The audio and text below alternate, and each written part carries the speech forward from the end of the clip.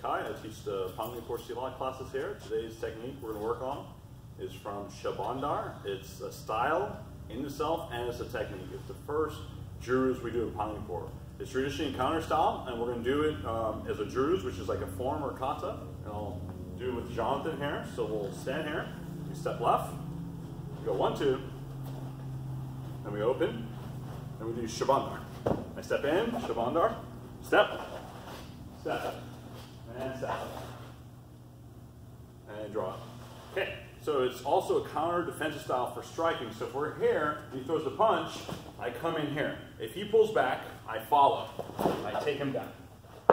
That same situation, I'm here, I go outside. If he tries to rush me with his shoulder, I help him follow. I take him down the other way. So it's really a counter style. Even if he punches and pulls his hand back really quickly, I come in, and that's my Shabanda. I'm taking space, and I'm making sure I control it. In slow motion, you're just like rolling parry, and the push to hyperextend.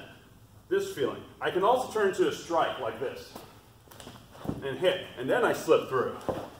Shabanda is really about controlling your opponent where you don't really have to damage them and destroy them right away unless they escalate the feeling. Outside is better because when he extends his hand, here I have less worry about his outside hand. So we can't do it inside, but I have to know that hand's there. So I compensate by setting something up.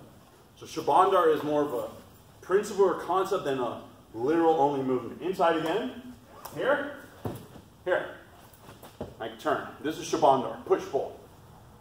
General feeling for push pull. One time in slow, I come here and like I swing through. If I do Shabandar to his feet, it's that feeling. Thank you. Thank you.